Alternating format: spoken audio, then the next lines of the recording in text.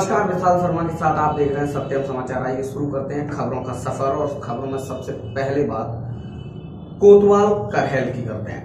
कोतवाल करहल के लिए रविवार का दिन काला साबित हुआ, क्योंकि देर रात कोतवाल करहल दबिश पर जा रहे थे, तभी उनकी गाड़ी एक स्विफ्ट डिज़ायर कार से टकरा गई।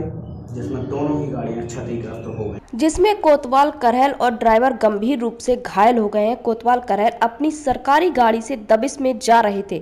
थाना करहल के प्रभारी आशीष कुमार पुलिस कर्मियों के साथ सरकारी पुलिस की बोलेरो में सवार होकर अपराधियों की तलाश में निकले थे। थाने से निकलते ही सामने से आ रही स्विफ्ट डिज़ायर कार के चालक ने तेज गति और लापरवाही से चलाते हुए पुलिस की जीप में टक्कर मार दी।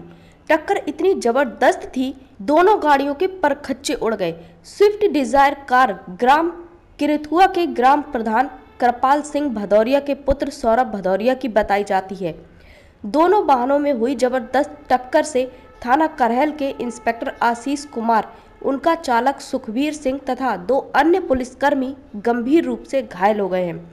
घटना की जानकारी मिलते ही पुलिस अधीक्षक अजय शंकर राय, अपर पुलिस अधीक्षक ओम प्रकाश सिंह, सीओ करहल पुलिस बल के साथ घटना स्थल पर पहुँच गए। गंभीर रूप से घायल हुए इंस्पेक्टर और पुलिस कर्मियों को आनंद फानन में मिनी पीजीआई सैफई में भर्ती कराया गया है।